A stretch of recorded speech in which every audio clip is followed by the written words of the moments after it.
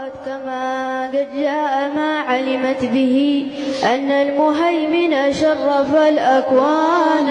صلى الله عليه. بالطهر من في بطنها فاستبشرت ودنا المخاض فأترعت رضوانا سبحان الله والحمد لله.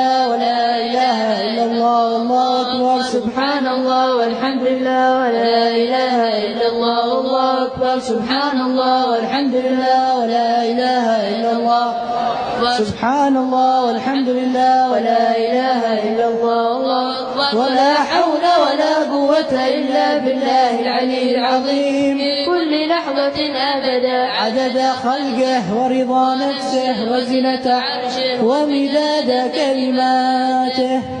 وتجلت الأنوار من كل الجهات فوقت ميلاد المشفع حان